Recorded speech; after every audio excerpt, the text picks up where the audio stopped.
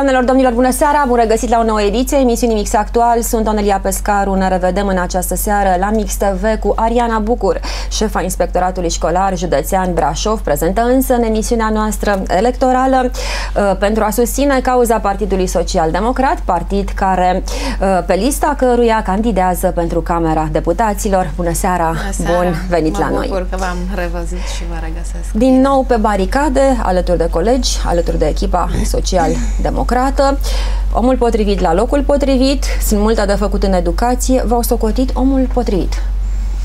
Da, cred că așa au gândit atunci când uh, au făcut această propunere. Uh, experiența, rezultatele pe care le-am obținut până în prezent uh, cred că i-au determinat să aibă încredere că ceea ce promit realizez. Uh, sunt uh, într-adevăr pe o poziție uh, neeligibilă, dar sunt alături de echipă, îi susțin și promovez politica PSD-ului. Până la urmă e nevoie de profesioniști atunci când vrei să promovezi niște politici care să aibă și aplicabilitate. Cred că una din hibele noastre românești vine și din faptul că acolo sus, acolo unde se fac programele, unde se, se gândesc sau nu se gândesc niște strategii, strategii, nu sunt oameni care chiar uh, au idee despre ce se întâmplă. domeniu de activitate în care au avut o experiență și care e foarte importantă. Chiar dacă la acest moment uh, toate partidele politice din România promovează tinerii pe lângă tineri, trebuie să existe și uh, cei cu experiență care să-i poată susține. Tineretul este creativ, este inventiv, inovativ, dinamic, dinamic mic, uh, dar trebuie să ai alături și... Uh, Înțelege, uh, nu, bătrânii care dacă nu ai să-i da, cumperi. Deci e, e ridicol, vorbeam și cu colegul dumneavoastră, Viorel Chiriac, uh, când vârsta ta, nu, numărul puțini ani peste 5, da, da, să, să te conservi deja printre veteranii, veteranii partidului. Da, totuși, și... chiar stăteam și mă gândeam, sunt 30 de ani de activitate. Pe sunt de altă mulți. parte? Stăteam și mă gândeam, mama la asemenea vechime în muncă a ieșit la pensie. Se gândea să, da, să da, încheie, da. Să încheie activitatea. Ori la noi mai avem încă foarte mult. Cred că printre elementele pe care o să le susțin prin intermediul colegilor mei uh, va fi și vârsta de pensionare pentru cadrele didactice. Pentru pe care o propuneți a o, se poziționa unde? A se poziționa dacă s-ar putea așa cum a fost până 55 acum, la femei, 55 și 57. 57. 65 este înfiorător de mult pentru consumul nervos pe care îl presupune, îl presupune pentru uh, toată activitatea și um, faptul că generațiile de astăzi sunt uh, mult mai energice, mai active, mai provocatoare. Și arderea este mult arderea mai uh, profundă, este nu?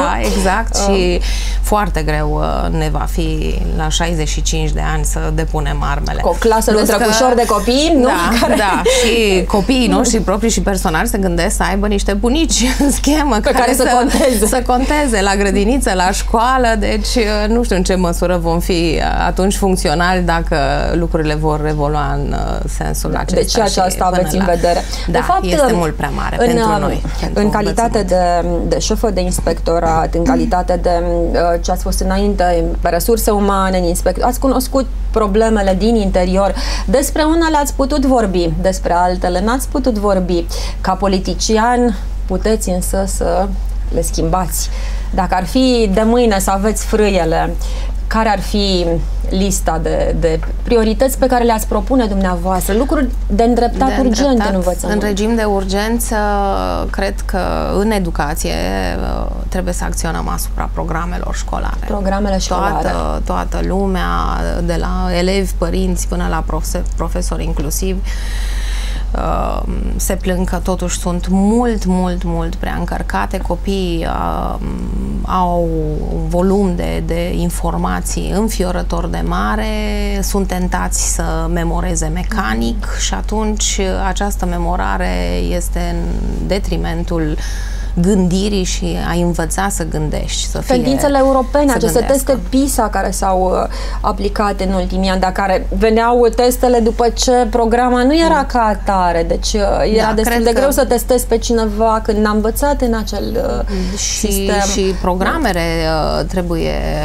uh, armonizate, pentru că trebuie să existe această interconexiune între discipline și între domenii de activitate. Nu poți să-l izolezi și să uh, îl formezi în exclusivitate pe fizică, fără să faci legătura cu biologia, fără să faci legătura cu chimia, de matematică nici nu mai vorbim, de literatură, de istorie, literatură combinată cu istorie, cu geografie, deci trebuie să... să deci învățarea aceasta integrată, de fapt. Exact, exact. Trebuie să fie regândite, regândite programele școlare, pentru că uh, în varianta actuală nu cred că, că vom avea șanse să și necompetitive, ne, ne, neperformante. Neactualizate, neactualizate, neactualizate, neactualizate. Ideal ar fi ca profesorul la acest moment într-o unitate școlară, într-o clasă, să fie un facilitator al învățării copilul are la acest moment acces la informație. Poate sunt uh, zone în care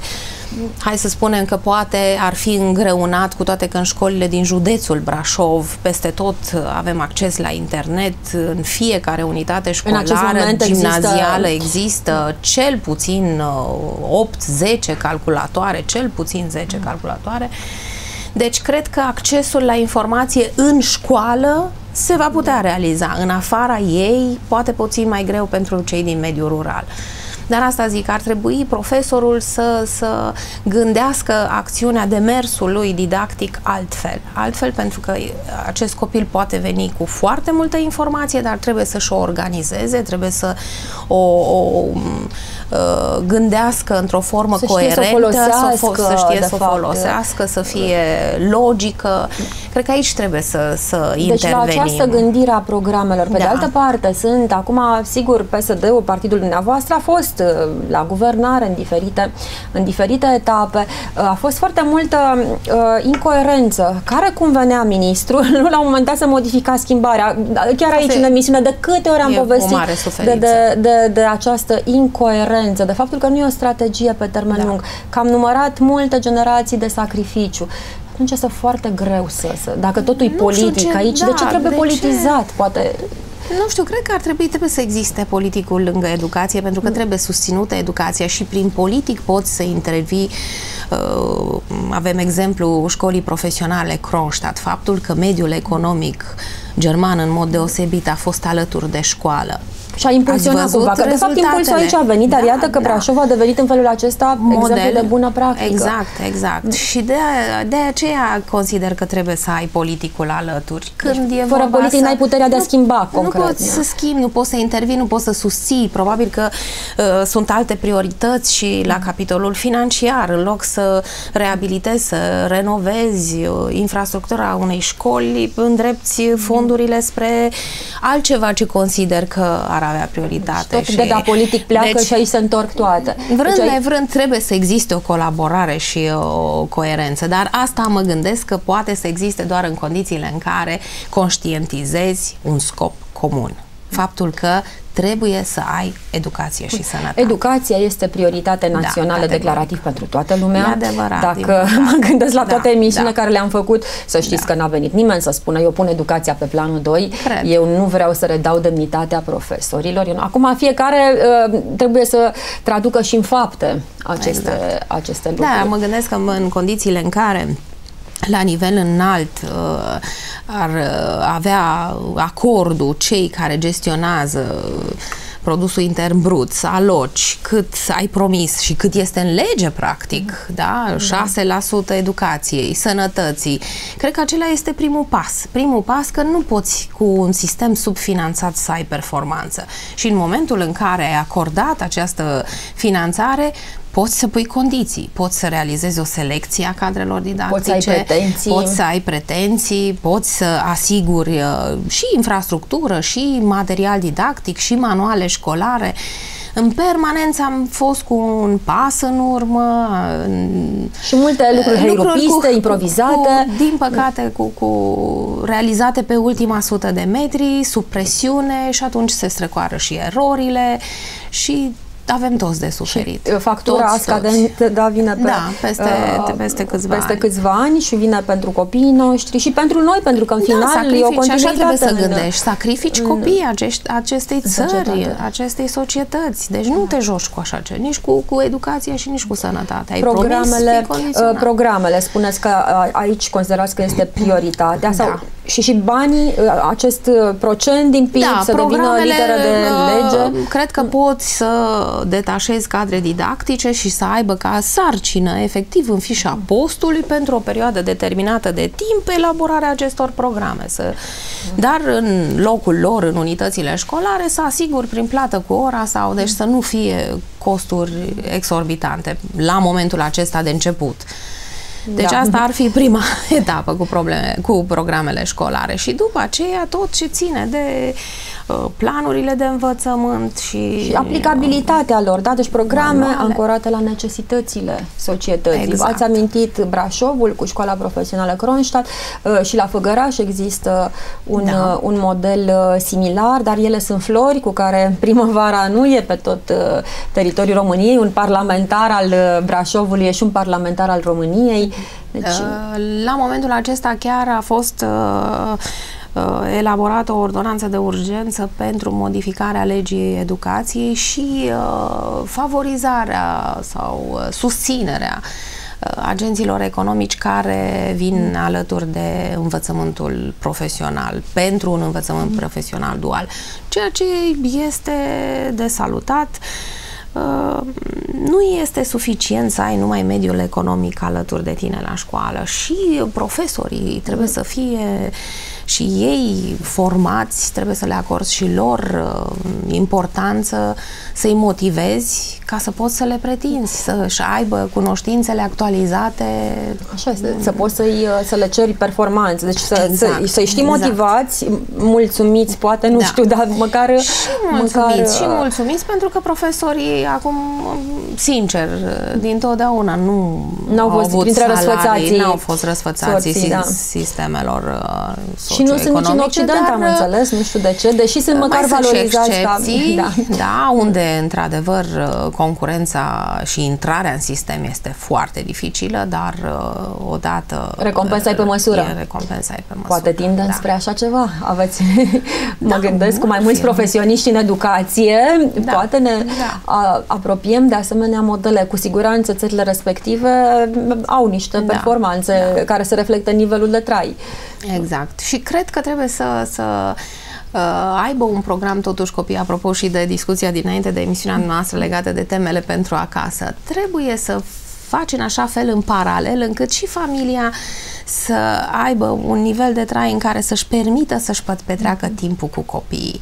Deci da. noi reclamăm că nu au educație, că nu vin de acasă educați, că Bieții părinți, pe de o parte, muncesc până seara târziu tot pentru copii și să le asigure un minim, minim, un minim. Și în condițiile astea ai surprinderea că ajung adolescenți și se confruntă cu fel și fel de probleme și de violență părinți și școală. de, și parteneriatul părinți școală este foarte important. Acum noi acolo am avut uh, o serie de intervenții prin proiectele pe care le-am derulat, am avut o școală a părinților. mm în mod deosebit în mediul rural, în medii da. dezavantajate, așa cum știți, și am avut succes și am rămas surprins că au venit cu plăcere. Au, au venit înțeles, și plăcut. Au uh, înțeles de ce sunt prezenți în școală, ca să cunoască activitatea profesorilor, activitatea propriilor copii, să socializeze între ei, să unii dintre ei să se înscrie la șansa a doua, să-și completeze studiile. Deci, um, cred că sunt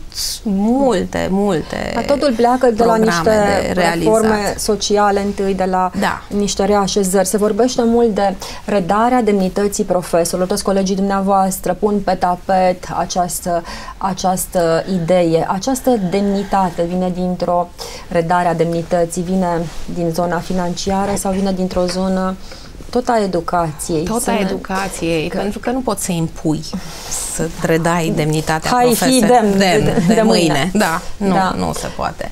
Dar cred că prin uh, uh, ținuta profesorilor, prin pregătirea lor, prin uh, tot ceea ce uh, pot realiza așa cum și-ar dori în condițiile în care ar fi mai bine, mă gândesc că ar impune, ar impune uh, respect din partea copiilor. Deci el se naște practic automat. E interesant că și noi, da, generația noastră, când eram uh, copii, când eram la școală, uh, nu știu dacă erau mai bogați profesorii nu, sau, dar totuși acest respect venea, nu, nu, nu, nu ne gândeam exact. să-i înfruntăm, să-i sfidăm, să fim obraznici, să-i umilim, sau cum s-a întâmplat părinții. Să aibă intervenții legate de metode de predare sau, uh, nu, sau de discuție, temele da? pentru da. acasă, da? volumul temelor pentru acasă, dificult, gradul de dificultate.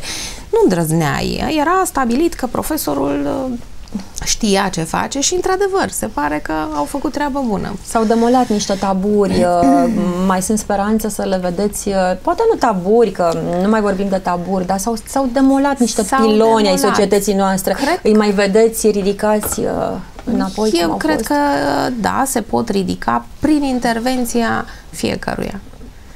Acolo unde fiecare intervine și în jurul nostru, dacă privim un pic Brașovul, sunt unități școlare, acolo uh, unde colectivele de cadre didactice uh, sunt ca o familie, deci cultura organizațională este puternică, acest lucru se știe în Brașov. Se știe în Brașov, părintele își dorește să-și înscrie copilul Sunt la liceele, școlile unități da. școlare. Da? Exact. Mm. Deci mă gândesc că fiecare poate contribui la această restaurare. Acel omul sfințește a... locul. Exact. Mm. Exact. Cu un management de calitate și uh, Uh, dedicat, cum de altfel avem, avem, s-a încheiat ați tras, ați tras linia, sunteți mulțumită de ce s-a adunat? Îi cunoașteți pe uh, acești uh, Marea majoritatea a colegilor uh, îi reprezintă pe cei care erau până acum da. în funcțiile de deci, conducere. Deci, practic, și-au certificat, și-au certificat poziții, da. pozițiile. Da. da, foarte, mm. foarte puțini sunt chiar din afară. Avem o problemă, în schimb, cu unitățile școlare unde nu am avut candidați sau acolo unde candidatul uh, nu, nu a, a fost admis. Mm. Nu a confirmat, da. nu neapărat uh, pregătirea la interviu sau a fost acea evaluare a CV-ului care, din păcate, a făcut multe victime. Corectă sau și nu numai... incorrectă, subiectivă? Cum o vedeți? Uh, cred că ar fi trebuit să fie diferențiată. Acel CV poate cu uh, cursuri postuniversitare, cursuri aprofundate, uh, doctorat, să fie solicitat unor unități școlare, nu știu, de nivel liceal, de, cu anumite deci, rezultate. Prea multe pretenții. Pentru uh. o grădiniță, să zicem, din Șoarș. Mm-hmm un da, exemplu, da. sau Recea sau Lisa, să ceri uh, un doctorat. Pe, pe acel doctorat presupune un efort din partea candidatului și de timp, și financiar, și de studiu, și un om Sigur, care și nu, se, nu are aplicabilitate zonă, imediat, exact, într-o mai ales zonă, ca manager uh, de, de, de școală. Vedeți, aici este... Da, și uh, cred că aici s-a greșit. Deci uh, au fost uh, legi candidați respinși, 32 de colegi. Mulți. mulți din acest mulți. motiv. Din acest motiv. Din deci, acest motiv. Deci, uh, iarăși un loc nevralgic unde exact, poate sunt unde de se reparat, poate interveni. Uh, exact. Se poate da, interveni ar fi trebuit să fie diferențiate legislativ. pe nivel de învățământ, poate chiar și pe medii de rezidență. Într-un fel pui problema într-o unitate școlară din mediul urban și în cu totul altfel într-o unitate școlară din, școlară din mediul rural. Da, unde aveți probleme deseori și cu și, titularizările și, și cu... Diferențiate. O școală gimnazială Budila se confruntă cu niște probleme, pe când, eu știu, școala gimnazială Drăușeni are cu totul și cu totul alte da, probleme. Da. Deci ar trebui adaptate da, plus uh, abilitatea managerială eu o văd uh, total diferită de abilitatea pedagogică uneori sau de este, uh, este, apropo de este. ce aduni într-un CV, apropo de învățământul nostru, de rezultatele este. lui. Uh, vedeți, ne-a, ne-a făcut să alergăm după diplome, deseori părinții pompează bani grei în meditațiile copiilor să ia niște diplome care nu, se, nu și-au acoperirea nici pe piața muncii, nici în știința copiilor, nu sunt făcuți să fie da. uh, juriști, avocați, uh, medici. Da, aici cred că ar trebui să existe niște sisteme de, de evaluare a calității și pentru furnizorii de formare. Da.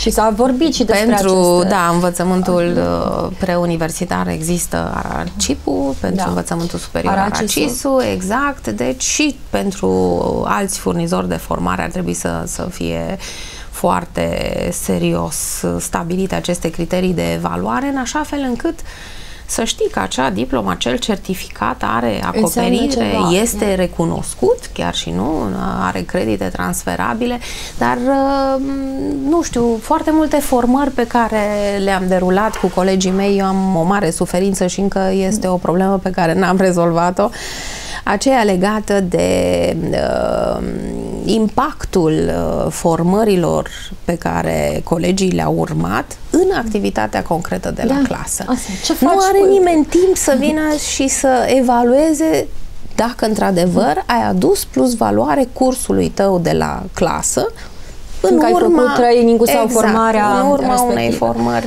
Mm. uh, și cred că și, și acest uh, aspect ar trebui reglementat.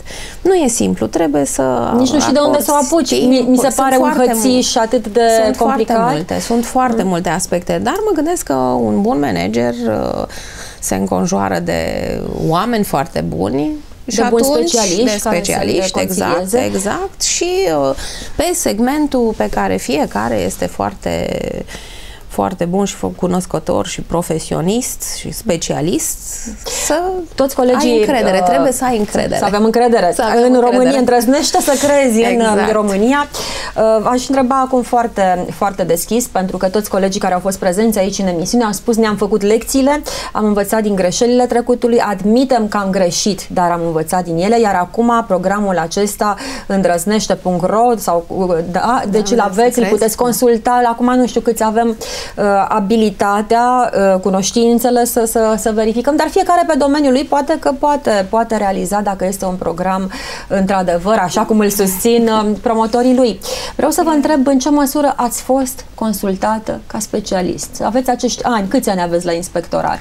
Um, Uh, multicei. Uh, 30 a spus în total. De toți. De Cred că toți? vreo 16. 16, 2016, da, 2016 2016 și cu 3, 17. 17 ani, 17 să vă spun mulți înainte, să vă spun mulți înainte în altă parte, să vă spun Mulți ce doriți înainte dumneavoastră. să- să fim Să-i sănătoși. valorificați și Asta e să, cel mai important. uh, să iasă ceva bun din, din toată această experiență. V-au consultat, v-au întrebat despre aceste lucruri. Nu neapărat, de, despre unele am spus, calitatea dumneavoastră de inspector șef nu vă permitea să vă criticați șefii să, întotdeauna sau să spuneți chiar ceea ce gândeați și simțeați, dar în particular măcar. Uh, ați putut transmite, să a ținut știți- cineva cont, a notat cineva și a și aplicat acolo. Deci uh, 75% din ceea ce ați spus, da. Deci în uh, postura de inspector școlar general, da, am fost consultată, dar și ca inspector uh, la managementul resurselor umane, metodologiile pentru mobilitatea cadrelor didactice era realizată cu reprezentanții Ministerului împreună cu inspectori uh, de specialitate la vremea respectivă. Deci am fost consultate. Acum, Da. între ceea ce Ați fi vrut- sugeram noi și final uh, era Păi până la într-adevăr, Dumnezeu te mănâncă sfinții, cum se spune, și, și fiecare modificări. sfințișor poate făcea câte Iar o uh, acum, schimbare. în ultima perioadă, ca inspector școlar general, da, am fost consultată uh, ultima dată la concursul, la metodologia pentru concursul de director, care s-a finalizat cu totul cu totul diferit față de ce De ce am sugestii ați- discutat. ați pus, uh, inițial, Da, în da. grupul de lucru la momentul respectiv uh, au fost foarte mulți reprezentanți uh, ai societății civile. Uh, ei trebuie să existe, categoric, și um, trebuie să ții cont de opinia lor. Dar cred că trebuie să ai uh, o, o balanță foarte fină, în așa fel încât să ții cont și să ai în vedere și ceea ce spune cel care vine concret din Da. serviciul Păi asta respectiv. e. Pentru că impresia celor din afară e m, nu întotdeauna Bun, foarte cum s-a corectă, dovedit deseori foarte chiar, uh, reală. puțin paralelă puțin cu- paralelă. cu situația. De-aia spun că la momentul respectiv uh, a fost de bun augur uh, participarea dumnealor Deci intenția Dar a fost bună, finalizarea... A fost intenția. Bună, finalizarea, presiunea creată de, de ei asupra celor care au finalizat această metodologie concret, discutăm de lucruri concret, uh, a fost foarte mare și s-a denaturat. Da. Și consecințele le suportă cine? Colegii da. mei, da? Care vin care și au picat, o interfață până la urmă da, între, exact, între autorități exact, și colegii exact, care au picat, exact, colegii care au probleme. și așa, sau colegi uh. care au probleme sau, sau copii care au probleme, nu? Toți uh, dorim să, să relansăm uh, învățământul profesional, dar nimeni nu ne dă concursul să și construim concret de la primii concret, pași. dar măcar un cămin și o cantină, pentru că populația școlară scade, este în scădere. N-are rost acum să mai construim foarte multe unități școlare, pentru că peste câțiva ani nu știu în ce măsură vom reuși să le populăm. Dar pentru uh, cei din mediul rural sau din localitățile mici, urbanul mic, dacă vor fi în dificultate, să aibă posibilitatea să vină într-un centru mare sau în Brașov, concret în municipiu și să-și continue studiile aici, să aibă acces la altă tehnologie, alt uh, material didactic, alte uh, posibilități de a face, de a realiza instruirea practică. Deci lucrurile da. E, e greu, e multă muncă. Acum dumneavoastră reprezentați în cel mai bun înțeles al cuvântului zona tehnocrată, deci de specialistul, acum e un cuvânt deja, da, nu mai, un cuvânt care nu, nu mai, mai trebuie nu. să avem grijă să-l mai uh, folosim și unii chiar au o repulsie față de el, dar asta înseamnă specialistul, omul care știe, care vine de acolo de unde chiar există aceste probleme și mai puțin uh, obișnuită să dați frumos să fiți uh, politiciani și să uh, spuneți lucrurilor pe nume, faceți radiografii, uh, aveți încredere că lucrurile se pot schimba, așa un prognostic pe un termen, că totuși minuni, minuni da, sunt nu de acord cu dumneavoastră, dar nu se poate să nu avem încredere, că altfel nu vom reuși. Ca ce se îndrăznește să crezi, sună da, frumos, așa, e adevărat, dar... e adevărat, este de campanie, nu? Campanie electorală, dar trebuie să avem încredere. E ca și în familie, mm-hmm. nu? La, lucrurile merg bine în condițiile în care există încredere între membrii familiei, mm-hmm. așa e și aici. Da, suntem dezamăgiți, au fost multe promisiuni din partea tuturor, nu numai din partea uh, PSD-ului. Poate că ne-am propus prea mult și n-am reușit să realizăm la momentele respective. Poate că acum tot ceea ce a, a fost stabilit prin uh, acest program uh, are la bază studii. Nu cred că își mai permite cineva la momentul acesta să vină să încropească așa pe genunchi, pe genunchi și să vină cu promisiuni neacoperite, pentru că eu cred că unii dintre noi ne-am mai deșteptat și stare de sânge, Doamne ferește. Da, da, da nu, și lucrurile, este... lucrurile o, trebuie Deci să îndrăznim să, fie... să credem, da? da. și în Ariana Bucur. Vă vedeți uh, pe un post în uh, guvern? Uh, mai vreți să lucrați în minister? V-ar plăcea să valorizați această experiență de la Brașov în altă parte, mai sus? Poate că da, nu știu. Nu v-ați gândit? Sau nu spuneți? Că... Să nu stârniți da, mâinii și gelozii. Da, da, m-am gândit, dar uh, eu sunt un om credincios și uh, m-am rugat întotdeauna Dumnezeu să le rânduiască, pentru că fiecare are un rol în și viața rost, asta. Și dacă muncești și, și ai credință, poate exact. că la un exact. moment dat uh, se împlinesc. Dacă ai un rost și un rol acolo, da. Am înțeles. Locul și rostul dumneavoastră acum este să susțineți această echipă PSD și dacă brașovenii vor da un vot covârșitor, să vă vedem și în Parlament. Da, Am vedem. Dar deocamdată, acolo, pe Metereze, la Inspectoratul la Școlar, unde sunt atâtea și atâtea probleme concrete în fiecare zi și dinspre elevi și dinspre profesori și materiale. și Da, mm. provocări provocări în fiecare zi. Dar uh, ne ținem viață. Această Ce nu te omoară, te întărește da. până la urmă. Îndrăznește da. să crezi în Ariana Bucur, îndrăznește să crezi în România, este sloganul electoral al PSD, partid care o propune pe șefa Inspectoratului Școlar Județean din Brașov pentru Camera Deputaților drept candidat. Mulțumesc mult pentru prezența în această emisiune. Onelia Pescaru, sunt o seară excelentă tuturor. Publicitate electorală Eu cred în România. Pentru că generația noastră high-tech va schimba lumea. Cred în România.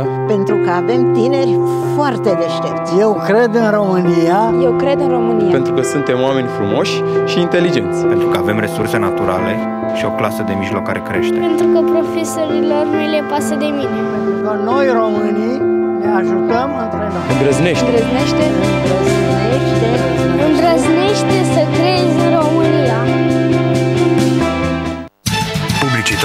electorală. Mesaj de interes public. O viață întreagă am mădut la Tarabasa, dar votul nu l-am mădut niciodată. Am educat multe generații de elevi și pe toți am învățat să fie cinstiți, responsabili și corecți. Acțiunile mele îmi decid viitorul. Sunt responsabilă pentru votul meu. Sesizează la 112 orice încălcare a legii electorale. O campanie de informare a Ministerului Afacerilor Interne. Mesaj de interes public.